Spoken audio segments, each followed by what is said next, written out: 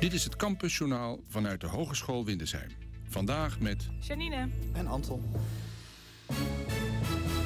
Goedemorgen, leuk dat je luistert naar de aller, aller, allerlaatste Campusjournaal radio-uitzending van 2013. Met vandaag in onze uitzending. Een nieuw verjaardagscadeau voor studenten. Wordt het leven een heel klein beetje beter voor transgenders. En sluiten we af met een semesteroverzicht. Maar we beginnen meteen met het korte nieuws. In de binnenstad van Deventer was er vanochtend een grote brand. Toeval of niet, onze verslaggever Julia woonde naast het pand waar de brand ontstond. En we hebben haar nu aan de telefoon. Julia, wanneer merkte je voor het eerst dat er wat aan de hand was? Goedemorgen Anton. Ja, ik, goedemorgen. ehm, ik werd om half zeven wakker gebeld door mensen op straat. En ik dacht eigenlijk dat ik wakker gebeld werd door hooligans of iets dergelijks, want er was een hoop geschreeuw. En eh, toen ik mijn slaapkamerdeur opendeed, toen zag ik dat, het, eh, dat er heel veel rook stond in mijn woonkamer. Dus ik schrok een beetje. En eh, toen nam ik mijn intercom op en toen werd er geschreeuwd, er is brand, er is brand, die moet eruit. Nou ja, een beetje in paniek ging toen, eh, een beetje in paniek, ging toen naar mijn raam. En eh, toen keek ik naar beneden en toen zag ik allemaal vlammen die in het pand naast mij omhoog dikten. Nou ja, toen, toen zag ik dat er brand was, ja. Ja, je was dus behoorlijk in paniek waarschijnlijk. Hoe laat was dat ongeveer? Half zeven vanochtend Oké. werd ik wakker gebeld. Ja. Oké. En toen, ja, toen, toen, toen je dat hoorde, heb je natuurlijk meteen alles gepakt en ben je zo snel mogelijk Ja. weggegaan. Ik ben eh, eerst zeg maar als een, als een maloot drie keer mijn appartement op en neer gehold, want ik wist eigenlijk niet wat ik moest doen. Ze zeggen altijd, je mag niet zoveel spullen meenemen, dus ik dacht, ik mag niet zoveel spullen meenemen. Toen dacht ik, ja, maar sta ik daar op straat in in mijn hemdje? Dus ehm, ik, heb mijn, ik heb mijn koffer klaarstaan, want ik eigenlijk op vakantie gaan. Ik heb mijn eh, winterjas eruit gevist, ik heb mijn schoenen gevonden. En toen dacht ik, ik zal mijn paspoort voor de zekerheid meenemen en mijn telefoon. En eh, daarmee ben ik de trap afgehold. En ik had gewoon in mijn hemd, ik had mijn jas en mijn schoenen nog niet aan. En eh, ik heb op alle deuren getrommeld die ik tegenkwam van mijn buurmensen. Want die zaten allemaal nog dicht. En ik was bang dat die daar binnen nog zaten. Nou, zo heb ik de onderste buurvrouw uit bed getrommeld. En eh, toen ging het brandalarm af in de gang. En het stond allemaal heel erg blank en het was heel warm beneden. Nou, en toen kwam ik buiten en inderdaad echt recht naast mijn deur, nog geen 10 centimeter er vandaan, waren de vlammen in het pand en eh, naar buiten gebroken. En ze leidden steeds verder op. En ik probeerde 112 te bellen, maar mijn handen filmden nogal, dus dat lukte niet. En, eh, maar toen waren de mensen op straat en die hadden de brandweer gebeld. En die waren, ja, binnen vijf minuten kwam er brandweer en, eh, en politie. En die instructeerden, on- ja, die vroegen wie er allemaal woonden. En nou ja, toen ging het allemaal heel erg snel. Ja. Uiteindelijk is wel iedereen op tijd eh, naar buiten gekomen, neem ik aan.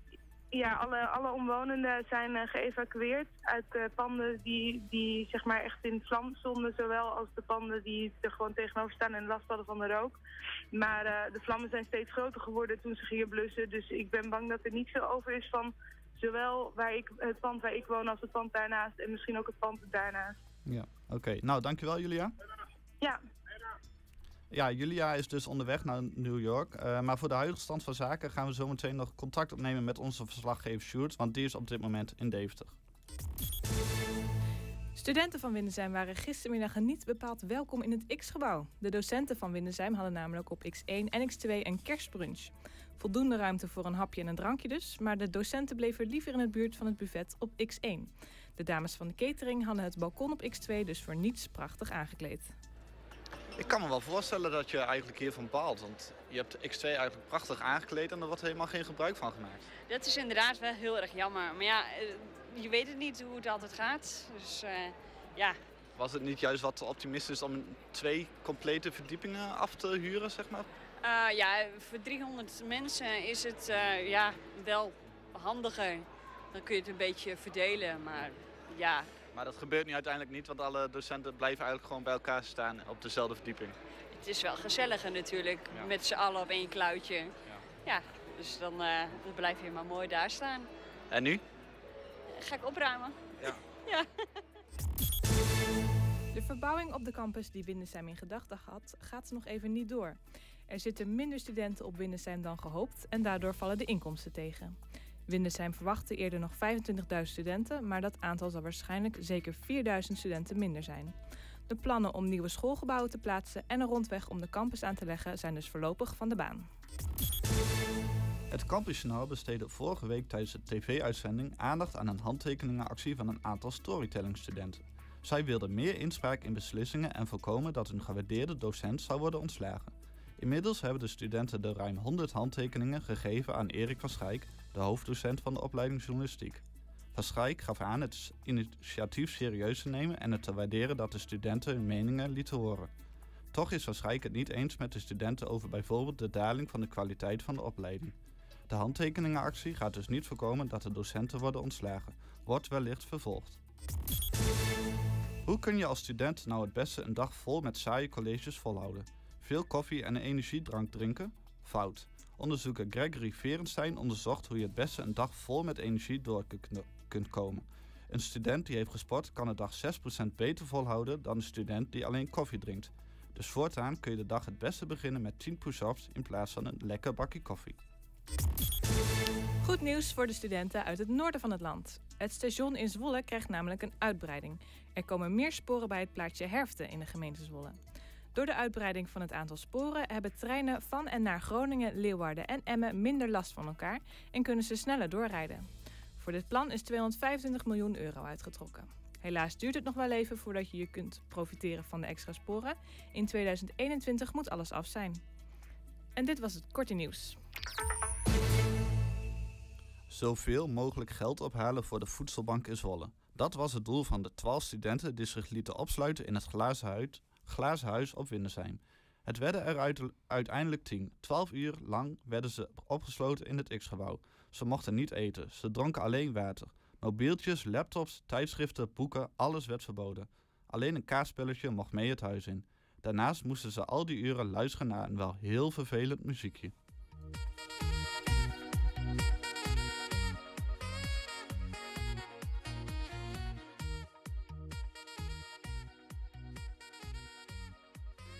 Ze zijn er uh, niet allemaal. Er zijn twee niet. Dat betekent dat er tien het huis in gaan.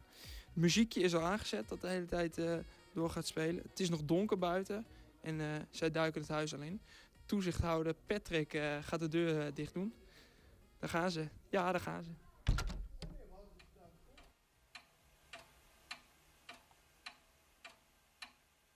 Nou, ik heb wel best honger. En uh, een beetje hoofdpijn van die lucht hier. Dus op zich is de vrijheid ook best wel aantrekkelijk. We zitten bijna op de helft. Je hebt net uh, even pauze gehad. Was het nodig?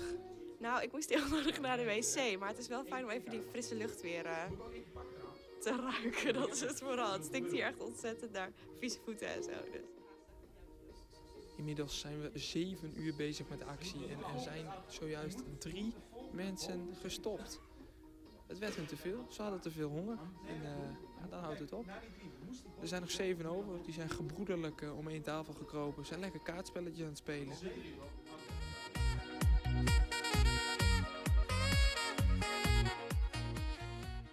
Uh, Patrick, jij bent toezichthouder de hele dag. Vanaf half acht vanochtend.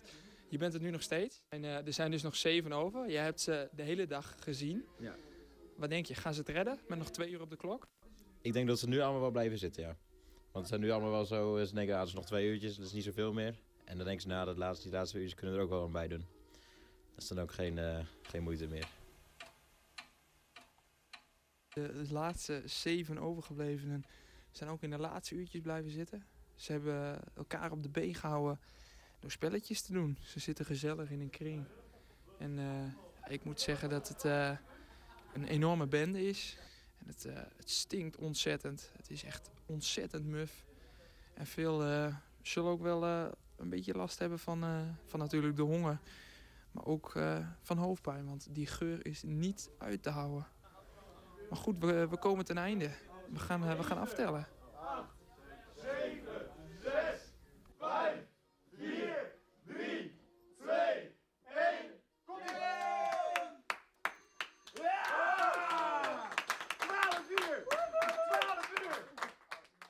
Voel me beroerd. Uh, ontzettende hoofdpijn. Ik ben moe. En mijn maag uh, die gaat tekeer. Maar gelukkig heb ik nu een zakje chip.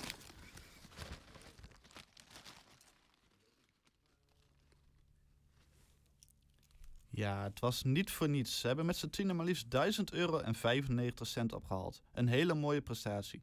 Van Zwolle gaan we door naar het echte glazen huis in Leeuwarden. Ja, want je hebt de beelden vast al gezien van de tiende editie van Serious Request. Een vol Wilhelminaplein in Leeuwarden. Honderden mensen stonden te dringen om een glimp op te vangen van de drie 3FM-dj's die in het glazen huis zitten. Maar woensdag, een paar uur voordat het feest losbarstte, zag het er nog heel anders uit. Ja, ik sta hier op het Wilhelminaplein in Leeuwarden, waar het nu allemaal gebeurt natuurlijk. Het Glazen Huis moet hier uh, over een paar uur gaan openen. En uh, dit is alweer de tiende editie. En wat hier wel opvalt op het plein is dat er... Nou ja, er zijn natuurlijk wel wat mensen. Mensen die voorzichtig gluren en rondkijken. Maar um, er zijn nog niet veel mensen die actie voeren en geld aan het inzamelen zijn. Ik bedoel, ik zie daar wat jongeren die staan bij een fiets een beetje te roken en te kijken. Voorzichtig de kat uit de boom kijken. Maar uh, niet echt acties. Ik zie verderop uh, staan wat NRC-mensen. Die staan NRC-kranten te verkopen. Ik bedoel, die maken goed gebruik van de situatie hier. Maar ja, niemand die echt actie voert. Wat vinden jullie van acties die tot nu toe hier op het plein gevoerd worden? Uh, er zijn er niet zoveel volgens mij. Nee. Het is een beetje leeg nog, uh, dus wat, dat valt een beetje tegen. Ja, dat viel ons ook al op. Um, wat verwachten jullie voor later in de week dan? Ja, we hebben een aantal uh, dingen al wel gezien in de, die hier gaan gebeuren. En er staat wel een roeiapparaat volgens mij. Dus uh, we verwachten er veel van. Ja, je hoorde net uh, Luc Heesen en Romilde van Dongen van uh, BNN.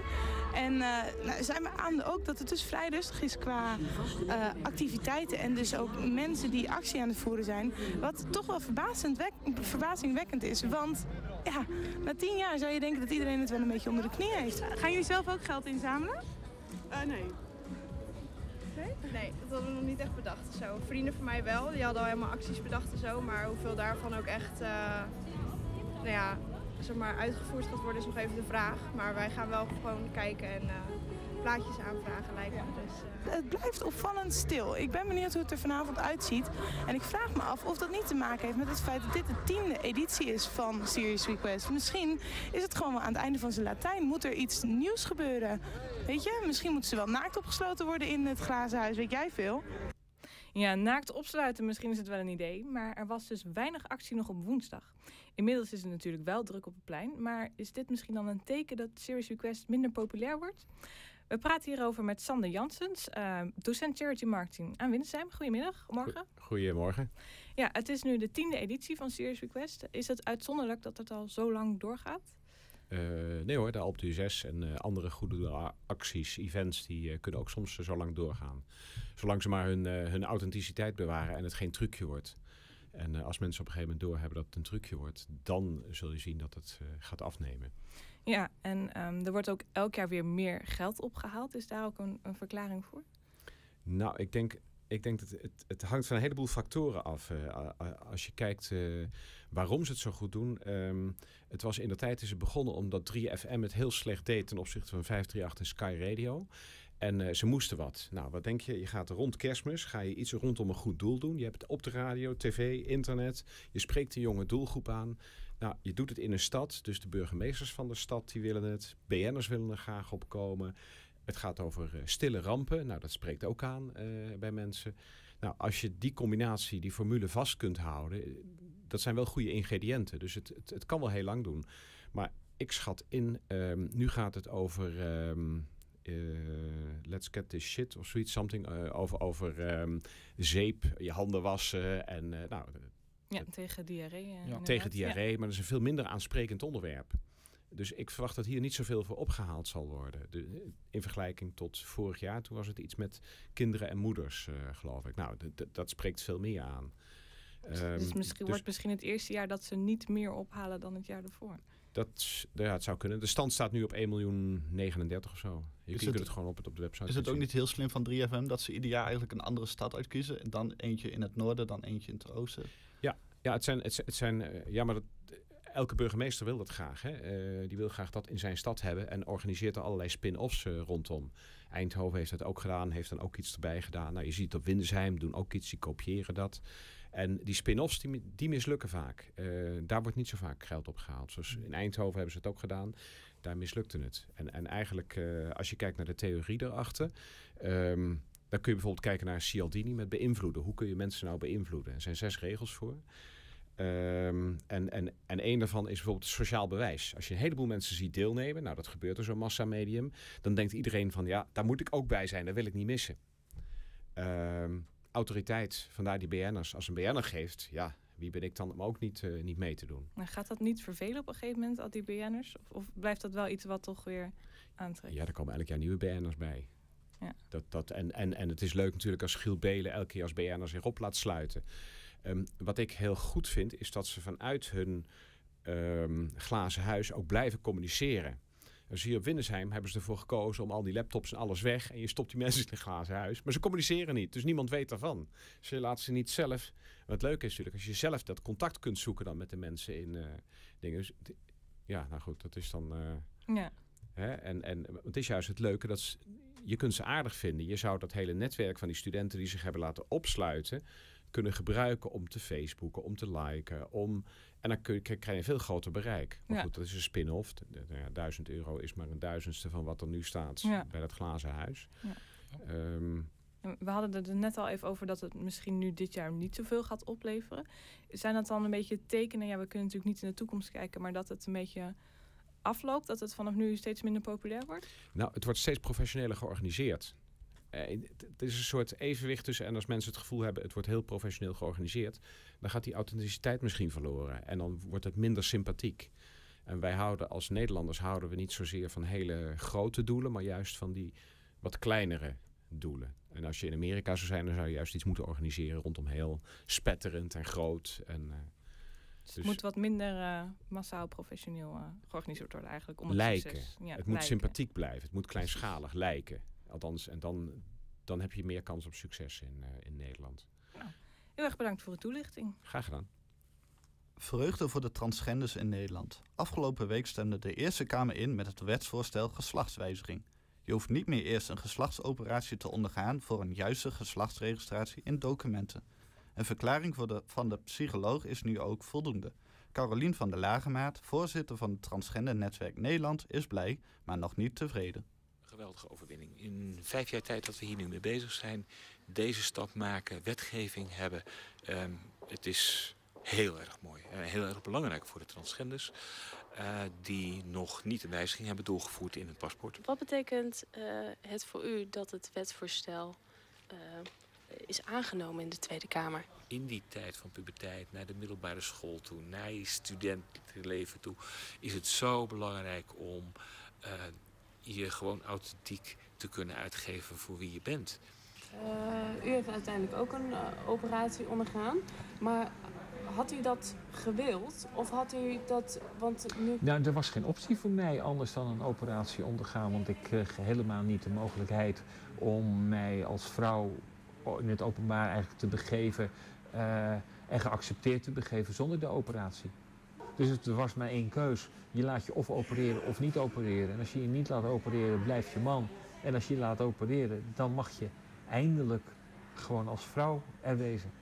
En eh, als, er, als er de mogelijkheid, nu is die wetsvoorstel eigenlijk gekomen. Stel dat u nog niet, laat maar zeggen, u heeft laten opereren. Zou u dat dan, dan willen? Ehm, Had u ik denk dat ik andere operaties zou willen. Ik zou een gedeelte wel waarschijnlijk achterwege laten. En welk gedeelte was dat? Nou, de seksoperaties zou ik waarschijnlijk achterwege eh, kunnen laten. Ja. Aan het begin van de uitzending hadden we Julia aan de lijn over de brand in de binnenstad van Deventer. En als het goed is, is op dit moment onze verslaggever Sjoerd Rispens in Deventer. Sjoerd, goedemorgen. Ja, goedemorgen Anton. Eh, is de brand al onder controle inmiddels?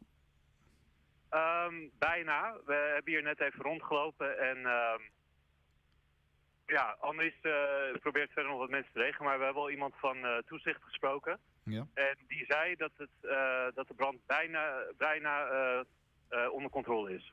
Oké, en maar hoeveel huizen zijn er nou in brand opgegaan?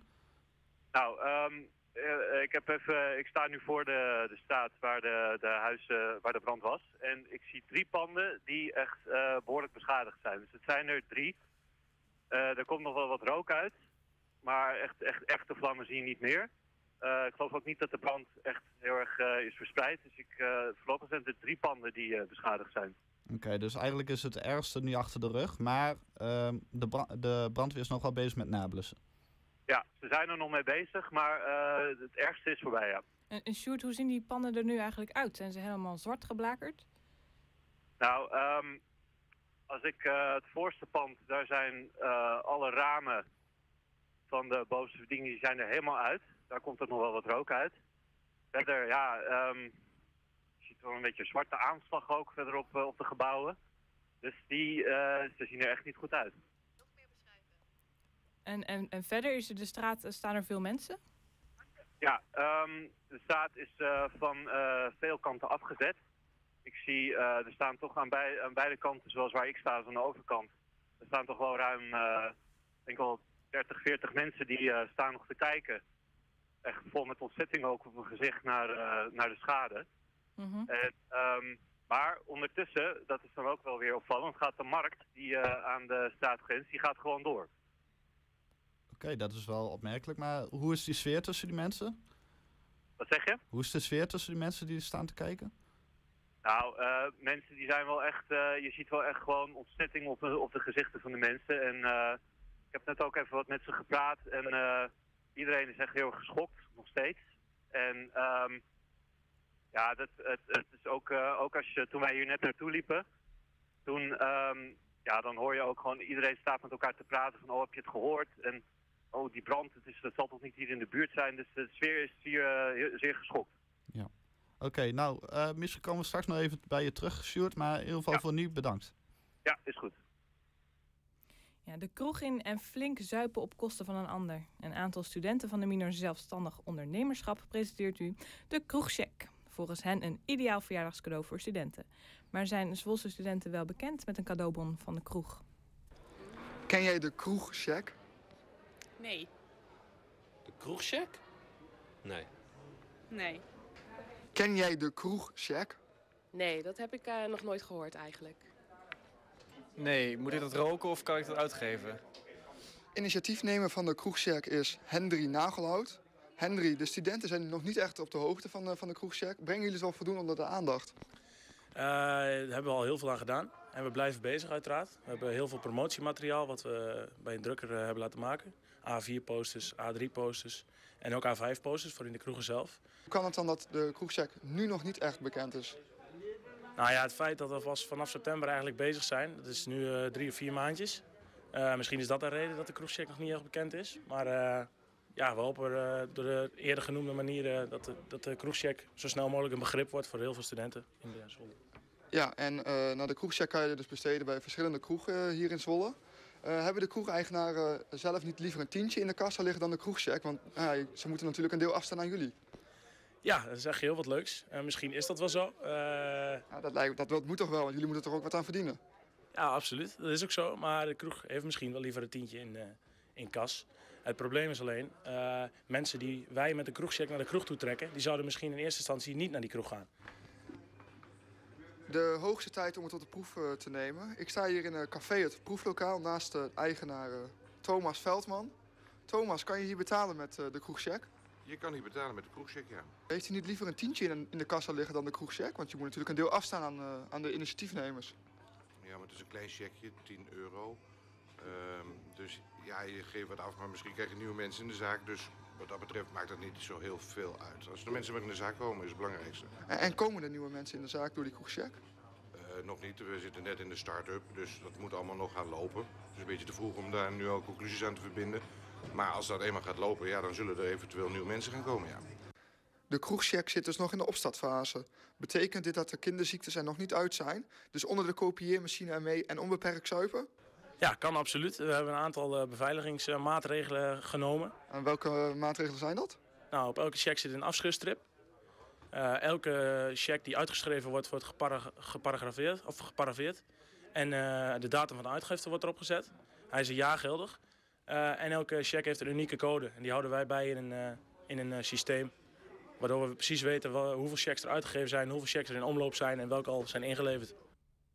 Journalistiek zou de waakhond van de samenleving moeten zijn.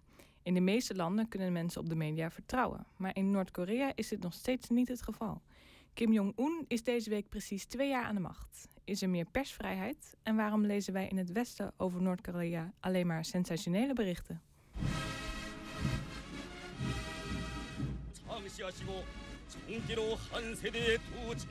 Duizenden militairen die vol trots over pleinen marcheren... terwijl commentatoren zwaar geëmotioneerd de pracht en praal van Noord-Korea aanprijzen. De rest van de wereld kijkt ondertussen verbaasd toe.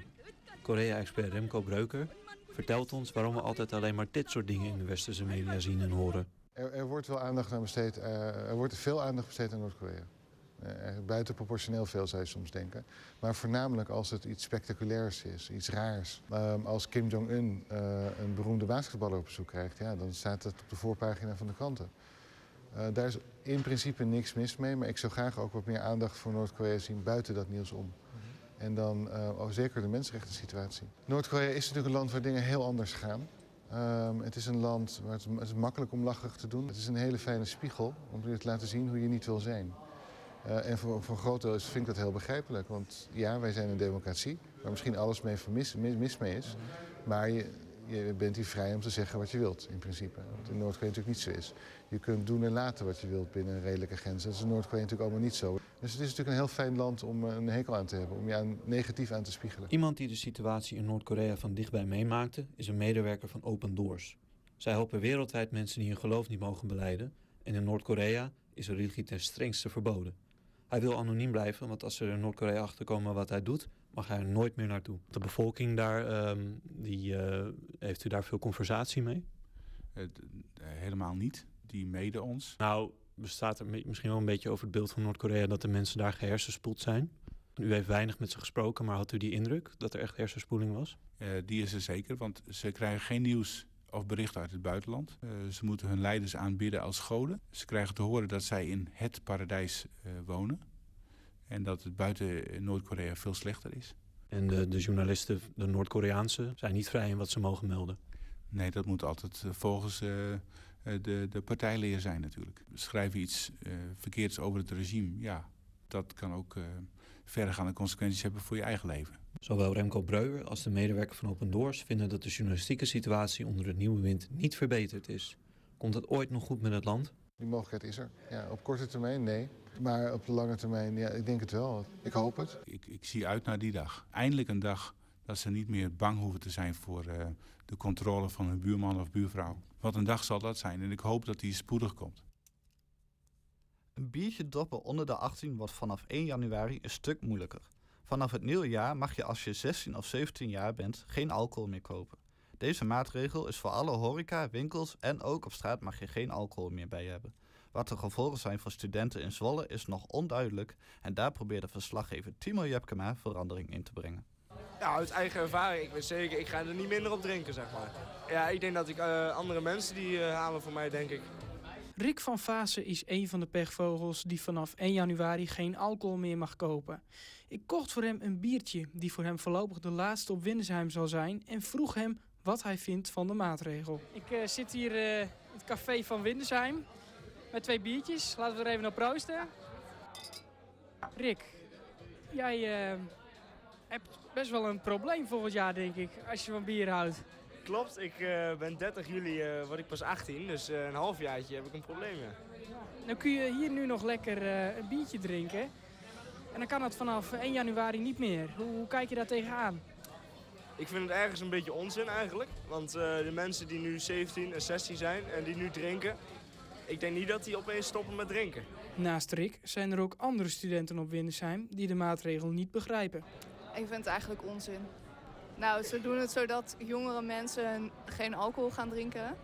Maar als je 16 bent, dan ken je ook wel mensen van 18 die het wel kunnen kopen. En die kunnen het dan, die mensen van 16 kunnen het alsnog aan mensen van 13 en zo gaan geven. Dus eigenlijk vind ik het nergens op slaan. Nou, voor me persoonlijk is het niet zo erg, omdat ik dan net 18 ben. Maar voor sommige vrienden van mij, die worden, zijn nu net 17. Dus dat is weer irritant. Kan je niet met hun samen halen of zo. Ik vind het wel, zeg maar, kloten voor de mensen die wel graag alcohol drinken. Ik word 4 maart 18. Vervelend, uh, ik kan gewoon niet de kroeg in eventjes met vrienden of zo meer.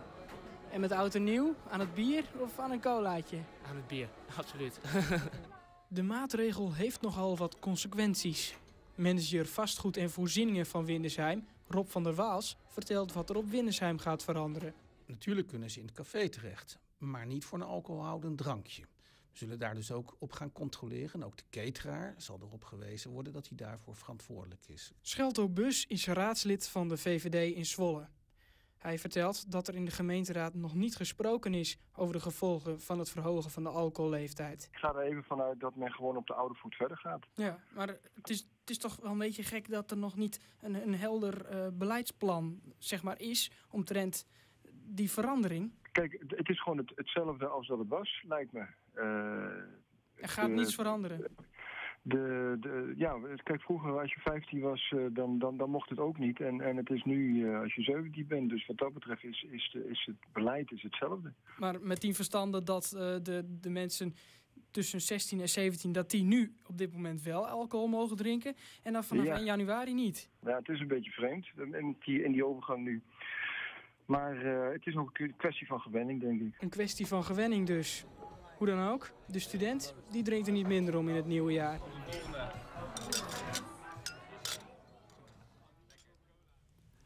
...39 restaurants hebben dinsdag, woensdag en donderdag nummer 39 met reis voor 39% korting verkocht. En dat als een reactie op dit. What are you going to sing?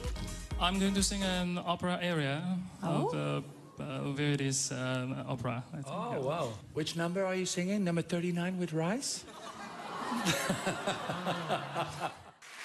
well, that was a big surprise. Surprise. Did anybody expect that voice to come out of him? I don't think so. Now, No. I tell you honestly, this is the best Chinese I had in weeks. and it's not a takeaway. Ja, de Chinese samenleving was niet echt blij met uh, reacties van Gordon. Aan de lijn heb ik een van de initiatiefnemers van de actie nummer 39 met reis. En dat is Hong Tong Wu. Goedemorgen. Goedemorgen. Uh, ja, waarom hebben jullie, hebben jullie die actie bedacht? Nou, kijk, we hebben uh, op de eerste plaats uh, de, de, um, ja, de opmerkingen van Gordon is natuurlijk rechtstreeks gericht aan uh, mijn ouders, zeg maar. De eerste mm -hmm. generatie van Chinezen die inderdaad ja, keihard hebben gewerkt, hun ondernemerschap hebben getoond.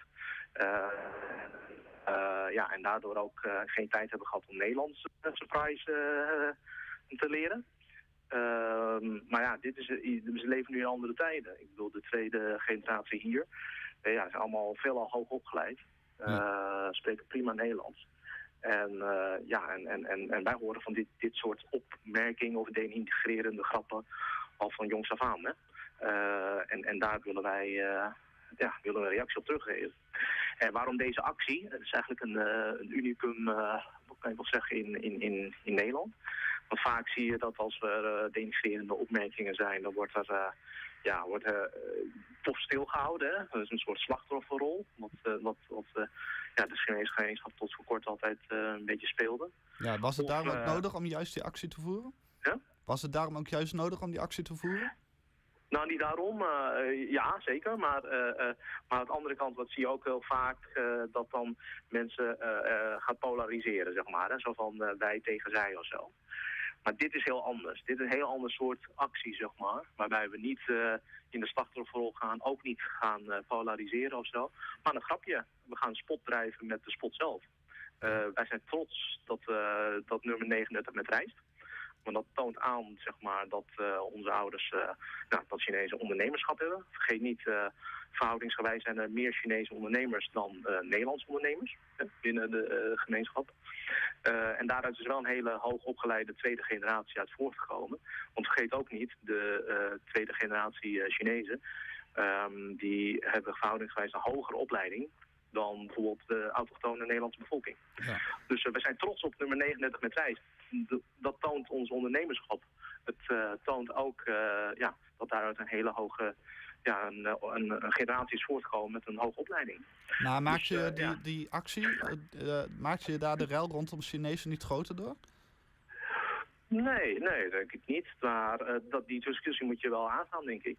Uh, en verder, vergeet uh, als, je, als je kijkt naar de website nummer 39 met reist.nl, ja.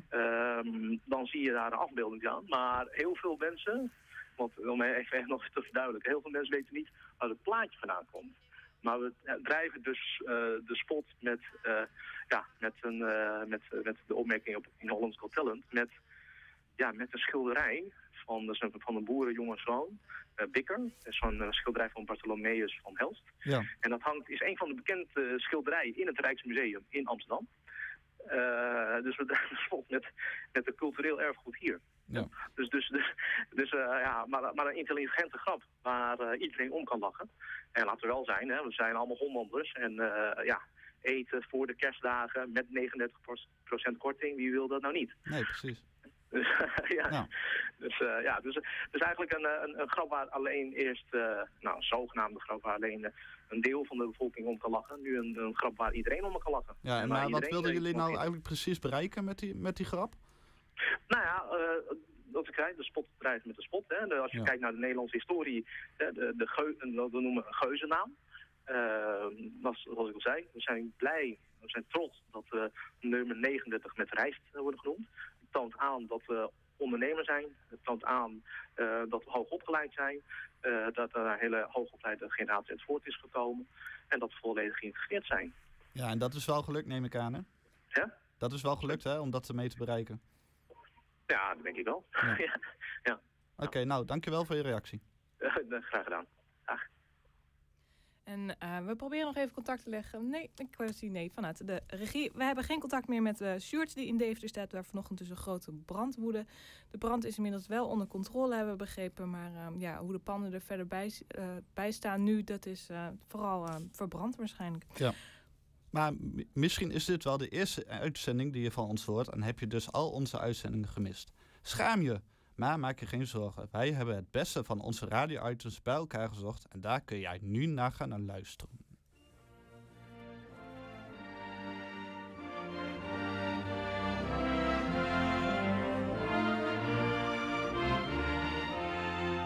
The United States of America. Een land vol dromen. Wereldwijde economische leider. Een voorbeeld voor veel andere landen. Het is tijd voor de Final Frontier. De derde ronde. Waar kun je als student het makkelijkste bier krijgen? Ik ben vandaag in Haarlem in de kerk. Ik fluister wel, maar eigenlijk is dat helemaal niet nodig. Want de Jopenkerk is namelijk een kroeg. Een kroeg die de laatste tijd een regen van prijzen mag ontvangen. What gets you drunker quicker? What comes in bottles or in cans? Beer. Can't get enough of it. Beer. How we really love it. Beer. Makes me think I'm a man. Ken je de nieuwssite Mijn Zet? Uh, nee, dat ken ik niet. Nee. Je hebt er nog nooit van gehoord? Nee. Haren. Het o zo rustige dorpje in het noorden van Nederland. Wie kende het tot vorig jaar?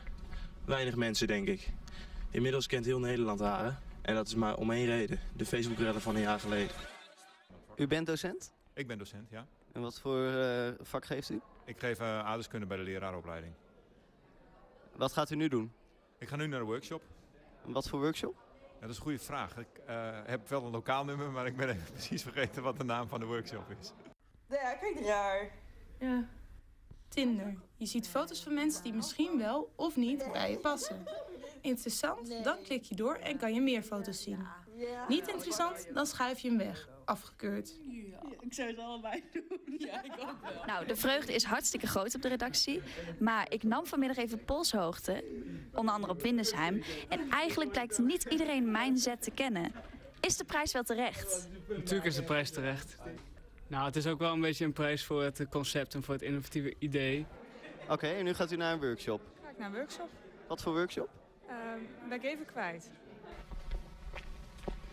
Dit is het dan. Dit moet het zijn. Het huis van Mert, het meisje dat een Facebookfeestje organiseerde. Een jaar later niets meer van te zien. Oh, dat om 19 Dating app, vleeskeuring. Eén ding is zeker. Het is in ieder geval goed voor je zelfvertrouwen. Dan lopen we de kroeg weer uit. Ben ik tegelijkertijd naar de kroeg en naar de kerk geweest. Dan ik weer met een goed gevoel naar huis.